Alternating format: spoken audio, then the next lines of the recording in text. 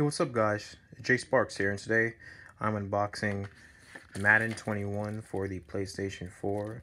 And this game, I'm not sure if if if it's gonna have like a free PS5 upgrade, but um, this, um, I think only the digital version will have a free PS5 upgrade.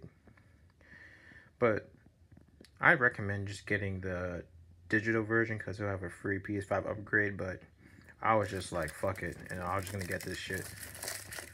So, today was a Black Friday sale. It was only like fucking $30. It's originally 60 bucks, and there's no way I'm buying a fucking sports game for like 60 bucks. So, Black Friday was a perfect opportunity to get this shit for half the price. And I'm putting, and I have this white thing covering the shit because this desk here is pretty dirty. So yeah, here, here, here's the front. That's Lamar Jackson. Side, Madden 21. PS4 Pro Enhanced. And, oh shit. And there is the disc. Oh wait, by the time I upload this, I already entered this code anyway, so, but over here is the disc.